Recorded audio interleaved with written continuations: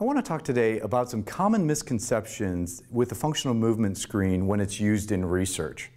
But in order to do that, I have to define a few terms first. We're going to talk about sensitivity and specificity.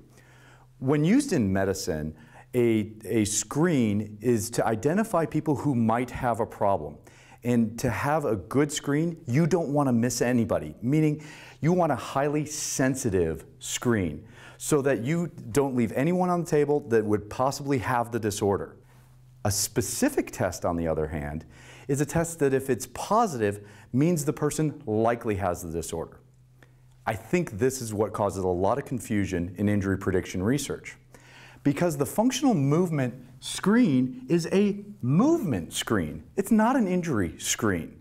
The problem comes in is when researchers use the functional movement screen as a one-off injury prediction tool. And that's not what its intent. Even the name says it. It's a movement screen. It's not an injury screen. If you actually look at that, researchers find that it's not sensitive, so they conclude that it's not a useful screen. But if you look actually deeper, it's a highly specific screen, meaning that if you're positive on the functional movement screen, you're much more likely to get hurt.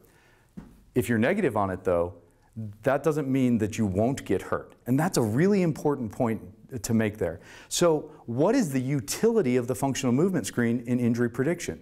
Well, we all know that injury risk is multifactorial. So using a highly specific test like the functional movement screen can actually be useful as part of a multifactorial algorithm that identifies the risk factors for injury. Bottom line, we get the question all the time, does the functional movement screen predict injury? And, and that's really not a good question. The question should be, what factors predict injury in a certain environment, in sports or in occupation?